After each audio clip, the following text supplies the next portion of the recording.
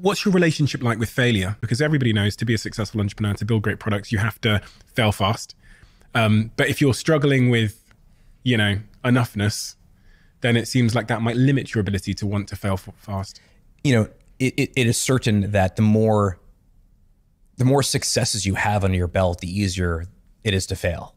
Because you feel like if you've had, you know, nine out of 10 things have been successful and that 10th is not, doesn't mean you are a failure. So one thing is I think separating like you being a failure versus the project or the the particular thing being a failure is very, very different. Which is hard. Which is very hard. Um, Toby, uh, who you know is founder of Shopify and person I spend most of my time with, um, building this company over the last 13 or 14 years, he has this great line, which is that failure is the discovery of something that that didn't work. And when I think when you use that lens, that failure is the discovery of something that didn't work, which he taught me, that made failure totally different.